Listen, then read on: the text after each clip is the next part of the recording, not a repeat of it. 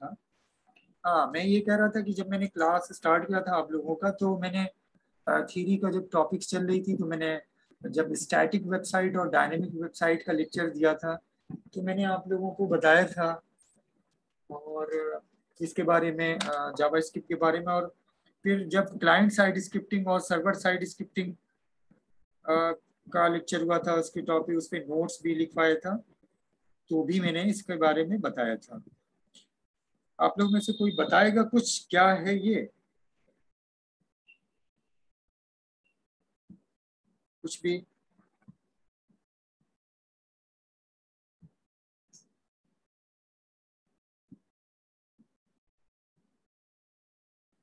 Hello.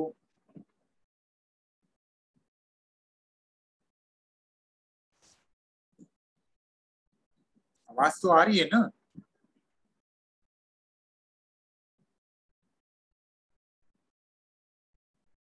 Yes sir आ रही है। हाँ तो मैंने कुछ सवाल पूछा है जवाब दीजिए। सब लोग खामोश हैं तो मुझे पता चला आवाज़ नहीं जा रही है। क्या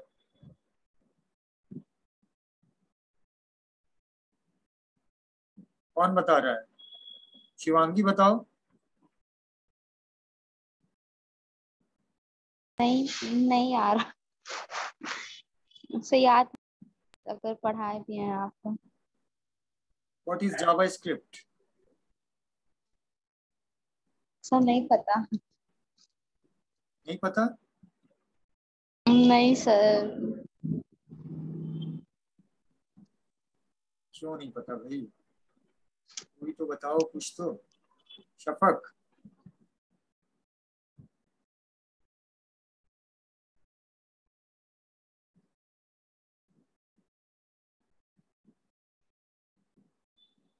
किसी को नहीं पता?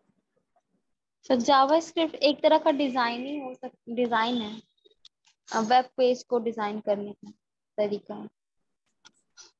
एक तरह का डिज़ाइन है। कौन शिवांगी आप बता रही हो?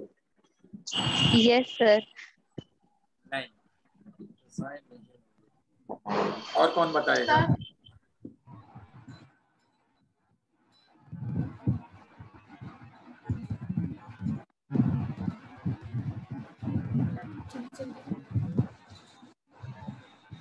और कौन बता रहा है? कोई बताए ये कुछ तो बताओ आप लोग।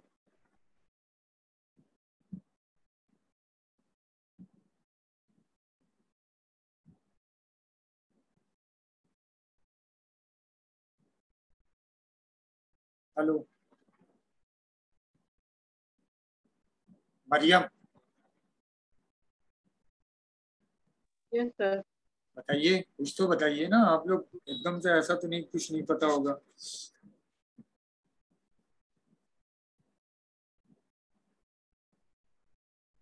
जावा स्क्रिप्ट एक तरह की scripting object oriented scripting language है। जिसका इस्तेमाल वेब पेज के अंदर डायनेमिक इफ़ेक्ट डायनेमिक कंटेंट देने के लिए इस्तेमाल होता है। और ये जब स्टैटिक इसीलिए मैंने अभी रिकॉल किया आपके क्लास का स्टैटिक वेबसाइट और डायनेमिक वेबसाइट के नोट्स को निकालिएगा, उसको देखिएगा। स्टैटिक वेबसाइट और डायनेमिक सीएसएस उसका स्टार्टिंग था रोल था कि पेजेस को थोड़ा सा इंटरेक्टिव करता है। बट अभी भी सीएसएस से पूरी तरह से पेजेस डायनेमिक नहीं होते हैं।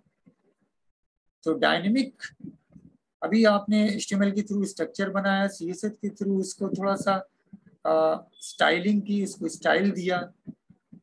थोड़ा सा आई कैचिंग बनाया। अब उसके अंदर डायनेमिक टच देने की बात आ रही तो यहाँ पे हम फिर अब यूज़ कर रहेंगे जावा स्क्रिप्ट तो जावा स्क्रिप्ट का अगर थोड़ा सा इंट्रोडक्शन दिया होगा, बताया होगा, समझाया होगा तो एक तरह की object oriented program scripting language और ये अपने आप में जब मतलब एक तरह की लैंग्वेज ऐसी लैंग्वेज है जो कि एच के साथ मिल के काम करती है और एच एक वेब ब्राउज़र में ही एग्जीक्यूट होती है। यानी इसका प्रोग्राम जो है वेब ब्राउज़र के अंदर ही एग्जीक्यूट होता है रन करता है। और वहीं पे आपको उसका, आपको वैसे ही इसका कोडिंग जैसे आप नोट पैड में करते आ रहे थे या सप्लाइम टेक्स्ट एडिटर उसी को इस्तेमाल करके इसको भी करना है। जावा स्क्रिप्ट के बारे में थोड़ा सा नोट्स में आएगी ये कि कब ये शुरू हुआ, कब स्टार्ट हुआ, कब डेवलप हुई नेक्स्ट स्केप कॉरपोरेशन ने ओरिजिनली इसको डेवलप किया। ये लैंग्वेज बहुत क्लाइंट साइड और सर्वर साइड जो कि इस नोट्स में आया होगा। और बाद में एक तरह का ये बिकमिंग इंटरनेशनल स्टैंडर्ड अप्रूव्ड हो गई ऑलमोस्ट हर uh, uh, जो भी ऑर्गेनाइजेशंस थी उसके थ्रू और एक तरह से जावा स्क्रिप्ट को यूज़ किया गया इंटरेक्टिविटी के लिए और डायनेमिज्म के लिए वेब पेजेस में। और ये लैंग्वेज जावा स्क्रिप्ट लैंग्वेज कहलाई। वेब पेज के अंदर एचटीएमएल डॉक्यूमेंट के कंटेंट और स्ट्रक्चर को बनाता है। सीएसएस उसको स्टाइल करता है और जावा स्क्रिप्ट उसके उसके अंदर कंट्रोल करना, बहुत सारी चीज़ों को और एक तरह से इसको डायनेमिक इफ़ेक्ट देने के लिए इस्तेमाल होता है। डायनेमिक पेजेस आप लोगों ने जब वेबसाइट ओपन किया है तो देखा है जैसे बहुत सारी साइट्स का जब मैंने एग्जांपल दिया था।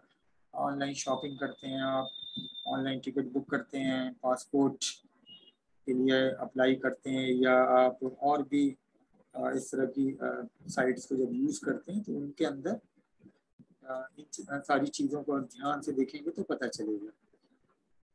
खैर, इसके इंट्रोडक्शन पे, इसके नोट्स में वो सारे पॉइंट्स आएँगे। और आप लोगों को वो नोट्स प्रोवाइड करूँगा मैं अभी तो ये नोट्स रेडी हुआ है, इसको मैं भेजता हूँ एक दो दिन के अंदर सी का। कैसे हम यूज़ करते हैं जावा स्क्रिप्ट को? अब बात यहाँ पे इसकी आती है। जावा स्क्रिप्ट हम दो तरह से यूज़ करते हैं। एक होते हैं इनलाइन जावा स्क्रिप्ट एक होता है एक्सटर्नल जावा स्क्रिप्ट जैसा आपने इनलाइन सी और ये किया था।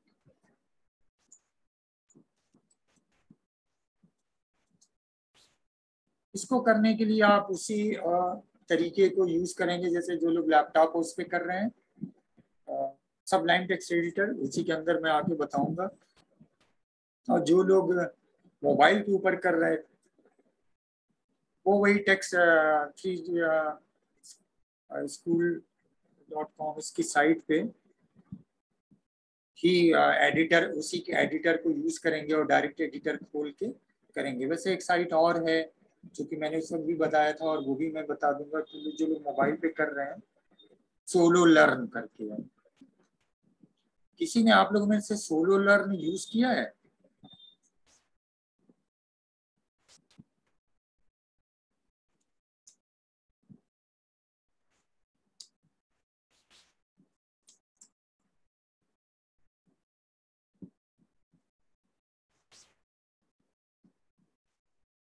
सोलो लर्न ये मोबाइल पे ये आप वो कर सकते हैं। एप्स और अपनी कंप्यूटर की इस पर भी कर सकते हैं। ठीक है? इस पर रजिस्टर्ड कर लीजिएगा और रजिस्टर्ड करके हम यूज़ कर सकते हैं। मैं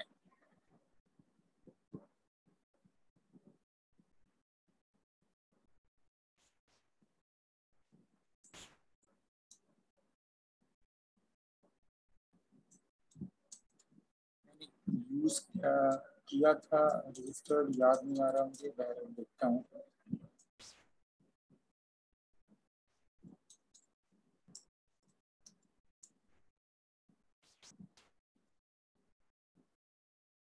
याद नहीं है मुझे एक्चुअली चलिए, इस पे आते हैं, बाद में नहीं वो तो रजिस्टर्ड करके दिखाएँगे।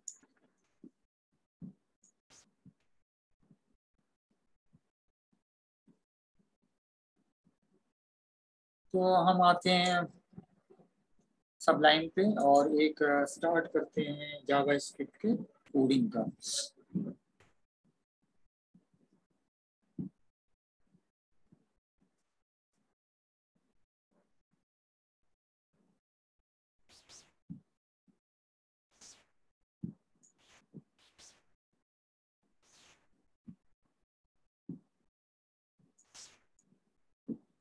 सिंपली फ़ाइल को फ़र्स्ट पे सेव किया, ताकि फिर हम जे एस नाम दे रहे मान लीजिए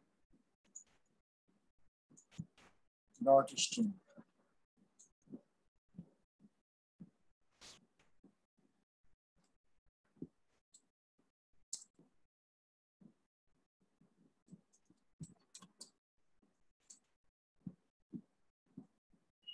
जावास्क्रिप्ट के कोड को हम हेड सेक्शन या बॉडी में लिख सकते हैं। दोनों में ही लिख सकते दोनों में भी लिख सकते हैं। हेड के अंदर भी इसके कोडिंग को कर सकते हैं और बॉडी के अंदर। अक्सर इस पे छोटे क्वेश्चन होते हैं तो ये आप जान जाइए। We can use JavaScript code in head section और बॉडी सेक्शन और बोथ हम अगर मान लीजिए यहाँ पे अभी लिख रहे हैं, आप जैसे स्क्रिप्ट ये स्क्रिप्ट एचटीएमएल का ही एलिमेंट है और इसी के अंदर जावा स्क्रिप्ट के कोडिंग को लिखा जाता है। इसीलिए मैंने बोला कि जावा स्क्रिप्ट एच के साथ ही मिलके वर्क करती है तो कहीं ना कहीं उसका रिलेशन से है और वो साथ ही में ब्राउज़र में एग्जीक्यूट होती है रन करती है। तो जैसे हम स्क्रिप्ट देते हैं और ये आ गया जैसे आप स्टाइल करते थे वैसे। जो ओल्ड तरीका है टाइप इक्वल टू टेक्स्ट और जावा स्क्रिप्ट आप ये भी आ, ऐसे भी कर सकते हैं यहाँ पे कोडिंग आप अगर ये हटा दें तो भी आप कर सकते हैं। आज की डेट में ये ज़रूरी नहीं है। सिंपली स्क्रिप्ट के अंदर भी आप कर सकते हैं। तो अभी हम ये रहने देते हैं, इससे कोई असर नहीं पड़ता है। लेकिन सही तरीका ये कि अगर आप प्रोग्राम में लिख देते हैं तो कोई गलत नहीं है, नहीं लिखते हैं तो भी कोई गलत नहीं है। ओल्ड तरीका जो था टाइप स्कल टू टेक्स्ट और जावा करते थे बट अब चूँकि एच की एक तरह से ये आप कह सकते हैं कि स्टैंडर्ड जो है लैंग्वेज है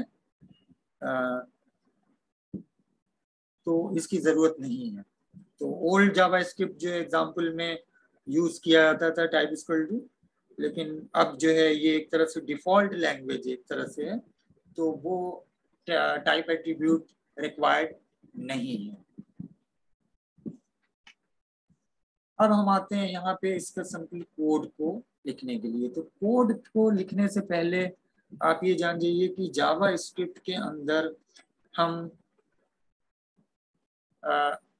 डिस्प्ले कैसे करते हैं? हमारा जो जावा जावा स्क्रिप्ट के अंदर जो हमारे कोड या जो कंटेंट होता है ब्राउज़र के अंदर जो है, वो डिस्प्ले कैसे होता है? तो जावा स्क्रिप्ट डिस्प्ले मेथड कह लीजिए, प्रोसीजर कह लीजिए तो वो ये चार तरीकों से होता है। पहला होता है using inner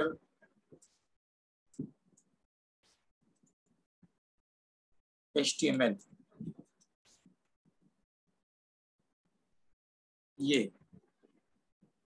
मैं इसको डबल कोड में लिख रहा हूँ। डबल कोड में लिखा है अलग करने के लिए इनर एच बल्कि मैं इसका पूरा सेंटेंस पूरा पॉइंट ही लिख देती हूँ। ये ना तो नोट कर लीजिएगा, आप लोग नोट्स लेके बैठे होंगे। Writing into an HTML element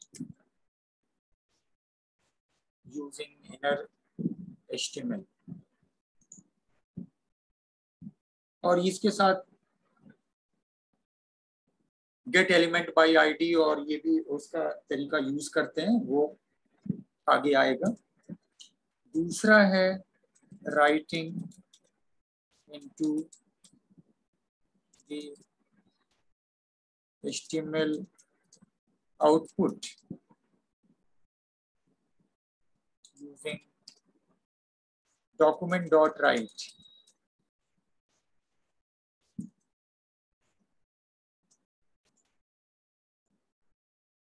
Parenthesis के अंदर लिखा जाता है तीसरा है writing into and alert box alert आता है जो कि मैंने आप लोग को आ, शायद ज़िक्र किया हो बताया हो आप वेब पेजेस पे आ, जब आप ऑनलाइन साइट पे कुछ वर्क करते हैं तो कहीं ना कहीं एक बॉक्स आता है जो अलर्ट करता है। उसके बाद फिर आप आगे बढ़ते हैं। ये अलर्ट के लिए यूजिंग विंडो डॉट अलर्ट ये भी पैरालिसिस के अंदर दिखाया जाता है। इसको आप ऐसे भी लिख सकते हैं ओनली ऐसे alert simply both window dot alert और simply only alert and the fourth one is writing to the browser consoled using अभी कंसोल क्या है? Using console dot log. मतलब ये कि कंसोल पे जब आप ये यूज़ करेंगे कंसोल डॉट लॉग और कुछ भी डिस्प्ले करना चाहते हैं तो ये यूज़र के स्क्रीन पे नहीं दिखेगा। आपको उसका एक्सक्लूशन आपको अपने लिए आप देख सकते हैं। आपके ब्राउज़र के खास पोर्शन में एग्जीक्यूट होता वो दिखेगा। यूज़र के लिए एग्जीक्यूट नहीं होगा। यानी कि ब्राउज़र पे आउटपुट में नहीं आएगा। जब आप ब्राउज़र को खोल के देखेंगे, उसकी जो रन कराते हैं प्रोग्राम को, वहाँ पे नहीं आएगा। और वो कैसे होगा? ये इसका एग्ज़ाम्पल अभी। आमतौर पे इसका इस्तेमाल किया जाता है टेस्टिंग के लिए फॉर टेस्टिंग ओनली अपने प्रोग्राम को टेस्ट करना कि सही से हो रहा है कि नहीं हो रहा है। जब ओके है टेस्ट कर लिया, तब फिर फाइनली पब्लिश करते हैं वेब पे, पहले ही नहीं कर दिया कि अभी उसका आउटपुट सही नहीं आ रहा और पब्लिश कर दिया इसी तरह डॉक्यूमेंट डॉट राइट का इस्तेमाल किया जाता है only use for also testing.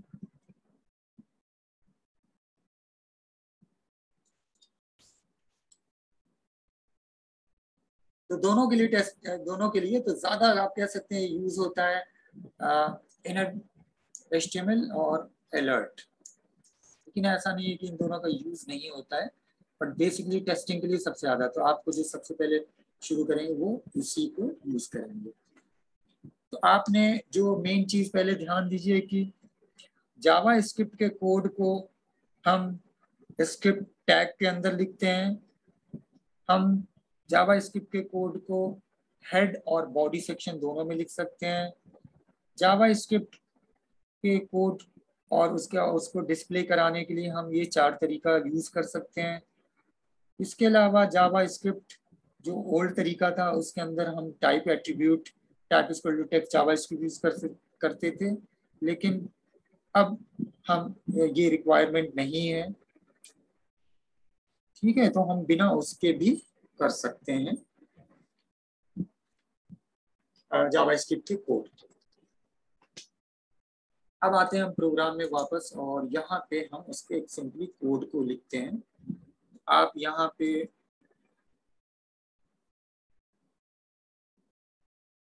Script के अंदर आए और यहाँ पे आपने लिखा डॉक्यूमेंट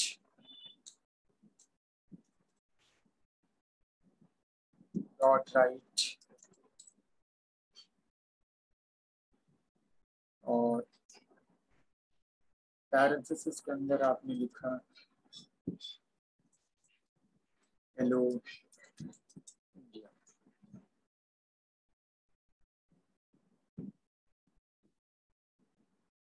आप दूसरा, उसके बाद यहाँ पे सेमी कोलन हालाँकि ये सेमी कोलन आप बिना सेमी कोलन के भी इसको एक्सक्लूड करा सकते हैं। एक तरह से ये इसका फॉरगिविंग नेचर है।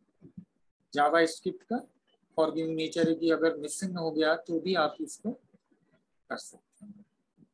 हमने एक और लिखा डॉक्यूमेंट डॉट राइट और इसको मैंने ऐसे लिखा। हेलो वर्ल्ड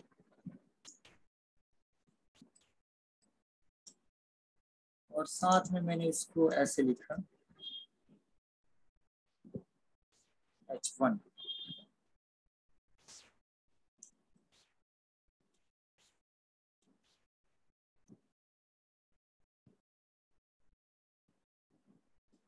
हमने एक और तरीका यूज़ किया।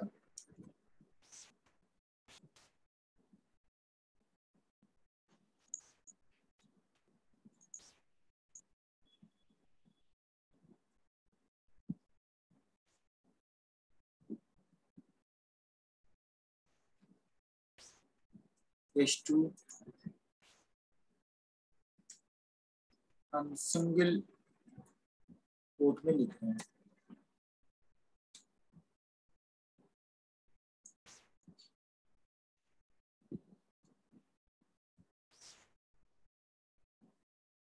और ये मैंने दिया है एच टू थ्री बल्कि कर देते हैं। फ़ाइल को सेव करते हैं। और ये बल्कि हम बजाय इसको हम यहाँ पे अभी बॉडी वाला करते हैं। फ़ाइल को सेव किया और जी एस फ़ाइल को ओपन किया।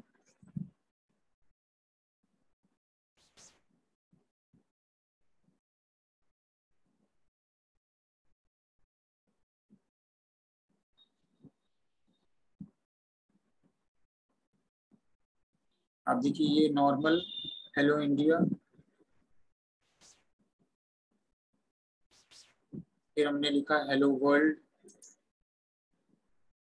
हेडिंग वन थी।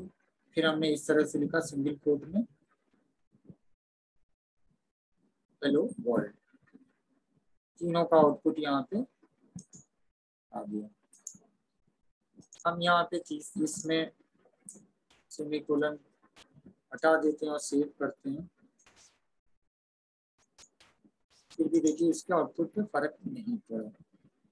एक तरह से ये इसका फॉरगिविंग नेचर है जावा स्क्रिप्ट का, जिस वजह से ये बहुत ही पॉपुलर लैंग्वेज हुई कि कहीं कहीं बहुत सारी चीज़ों को ये फॉरगिव कर देती है, माफ़ कर देती है। बहुत ही स्ट्रिक्टली नहीं है कि वो सारी चीज़ें देना, जैसे सी एस एस में मस्ट है। तो because of this forgiving nature ये हुआ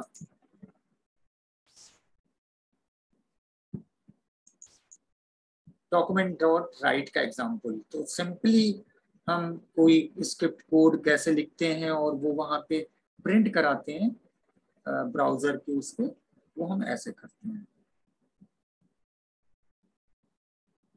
आ रहा है समझ में आप लोगों को? हाँ सर आ रहा। और क्यों हंस रही हैं? हाँ सर आ रहा है ऐसे क्यों बोल रही हैं?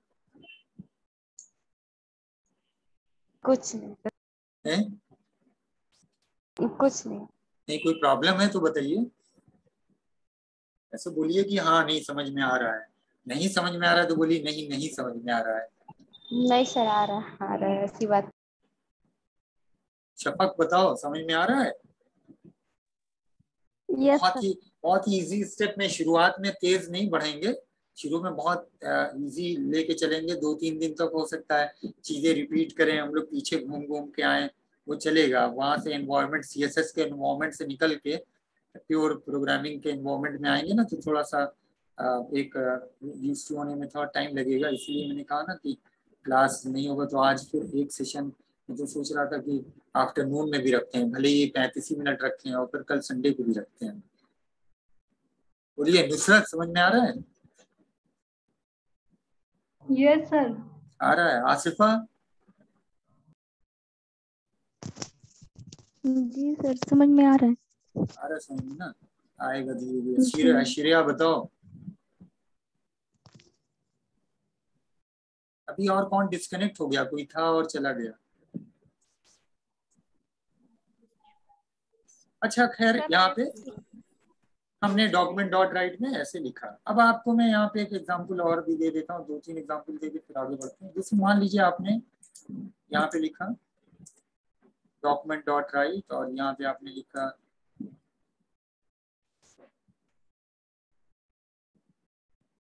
सिक्स प्लस फाइव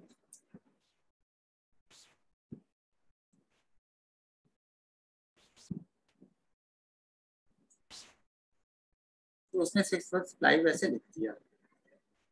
अगर हम यहाँ पे सिक्स वर्क सप्लाई के पहले ये ये हटा दें, जो डबल कोट और वो लिखा था। अब क्या करेगा ये? इसको जोड़ देगा।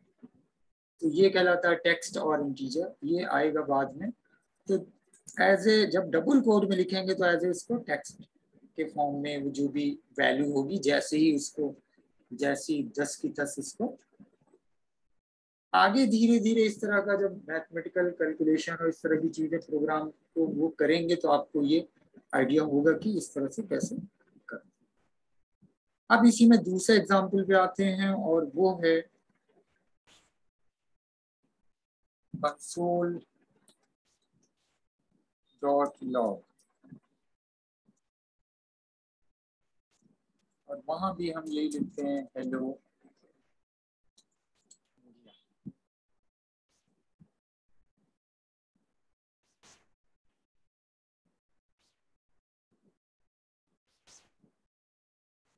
हमने सेव किया, वो यहाँ पे आएगी नहीं, ज़ाहिर सी बात उसका आउटपुट यहाँ नहीं आएगा।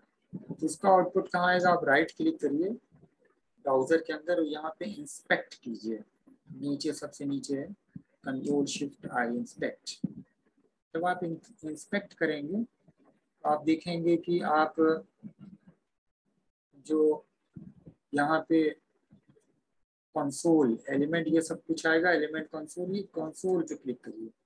तो आप कंसोल पे जब जाएँगे तो देखेंगे यहाँ पे जो हेलो इंडिया मैंने वहाँ लिखा था, वो कंसोल पे यहाँ पे आ रहा है। इससे आप ये पता लगे आपका कोडिंग एकदम सही है और ये एग्जीक्यूट हो रहा है।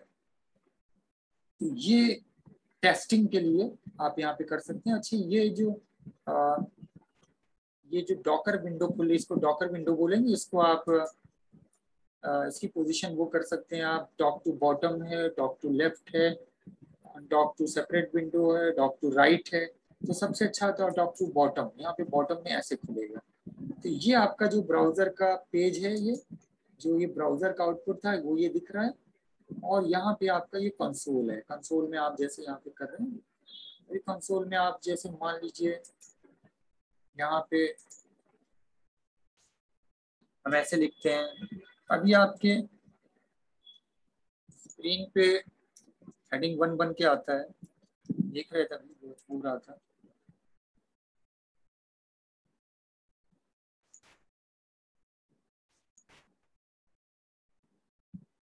आप देखिए, वो यहाँ पे नहीं आएगा। क्या चीज़ आ रही है? एच वन जो आपने उसके आगे पीछे लिखा है, वो आ रहा है। क्योंकि वो ब्राउज़र को इंटर वो नहीं कर रहा है इंटरप्रेट तो एक तरह से सिंपली जो चीज़ लिख रहे हैं आप, वो कंसोल पे यहाँ पे। तो इसका इस्तेमाल एक तरह से टेस्टिंग के लिए होता है कि आपका वो एग्जीक्यूट हो रहा है कि नहीं। अगर एग्जीक्यूट नहीं होता तो ये चीज़ वहाँ पे भी नहीं आती।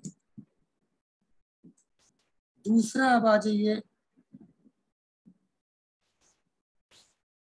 Window dot alert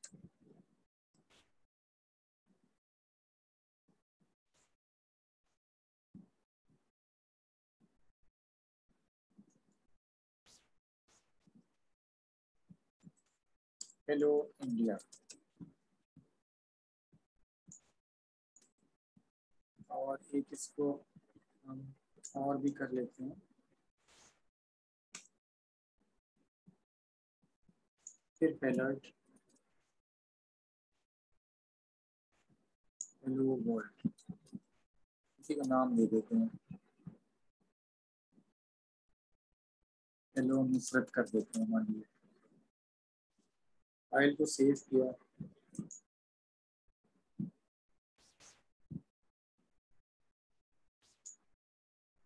hello India आया। ओके किया। फिर हेलो नुसरत आया। दूसरा एग्जीक्यूट किया। फिर ओके किया। ठीक है। हेलो इंडिया और हेलो नुसरत तो ये हमारा अलर्ट यानी अलर्ट सबसे पहले एग्जीक्यूट होगा, बाद में उसकी सारी, भले ही वो कहीं भी लिखा हो, उसका एग्जीक्यूशन ऑर्डर विंडो के खुलते ही सामने आएगा। आप यहाँ पे देख रहे हैं कि हमने इसको बाद में नीचे लिखा है, ये सबके बाद। लेकिन आप सोच रहे हैं कि पहले ये आना चाहिए, फिर नहीं। पहले विंडो का अलर्ट आएगा तो अलर्ट आप ऐसे भी लिख सकते हैं, आप ऐसे भी लिख सकते हैं। And the last one is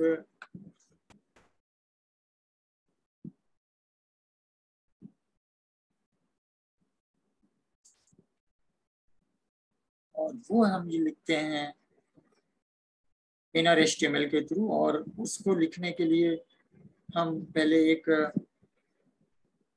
document dot I D get element उसको यूज़ करते हैं उसका तरीका ये है डॉक्यूमेंट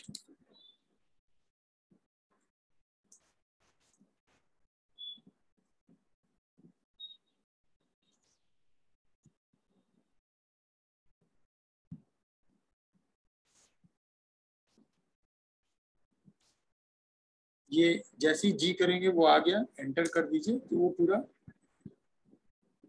एक स्ट्रक्चर आ जाएगा। लेकिन चूँकि यहाँ पे इसको करना है गेट एलिमेंट बाय आईडी तो यहाँ पे आप कर्सर को रखिए और टैग स्पेस करिए। तो बाई और फिर यहाँ पे आईडी कर दीजिए। यहाँ पे फिर वो उस आईडी का नाम देते हैं इसके अंदर। आईडी मान ली दे दिया हमने एच वन फिर इसके आगे लिखते हैं dot inner H T M L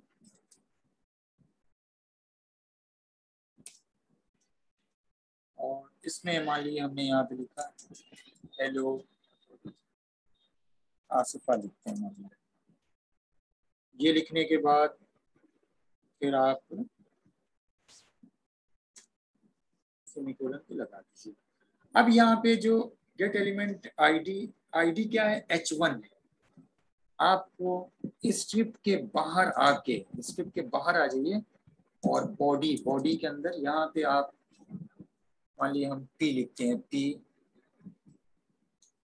I D equal to H one और पैराग्राफ के अंदर कुछ लिख नहीं रहे हैं, बस सिंपली आप पैराग्राफ को क्लोज कर दीजिए।